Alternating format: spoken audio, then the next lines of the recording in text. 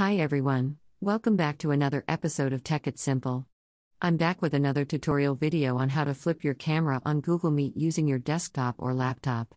Keep watching the video till the end.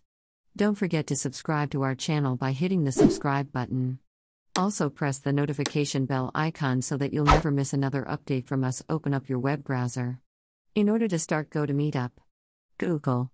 Com in the address bar and search, you'll end up in the home page of Google Meet. Make sure you're logged into your Google account by entering your Google account credentials.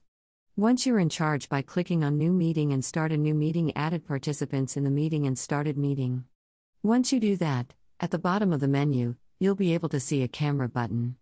If you click on that, your camera will be turned off and it will look like this. As you can see that there is no option whatsoever so that you can flip your camera on your laptop or your desktop.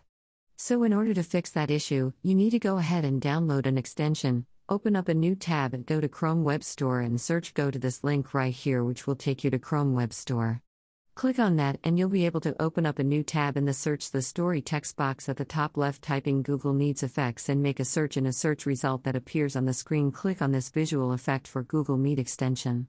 And soon after you do that you'll be able to see a button that says add to Chrome. Once you click on that in the pop-up select add extension to add the extension on your web browser. Once it is done, go back to your Google Meet on the left-hand side of the screen click on the box. As you can see it right here a white box appearing on the left-hand side scroll all the way down and you'll be able to see a button that says flip soon after you click on that you should see your green flip upside down. That is how it is done. If you'd like to do so, you need to simply download an extension on your web browser in order to flip your camera on Google Meets it's pretty simple, isn't it? I hope the tutorial was helpful to you. If it was, go ahead and give us a thumbs up. Comment down in the comment box. If you have a question or a feedback for us, I'll send you back a small tutorial episodes again. Thank you for watching.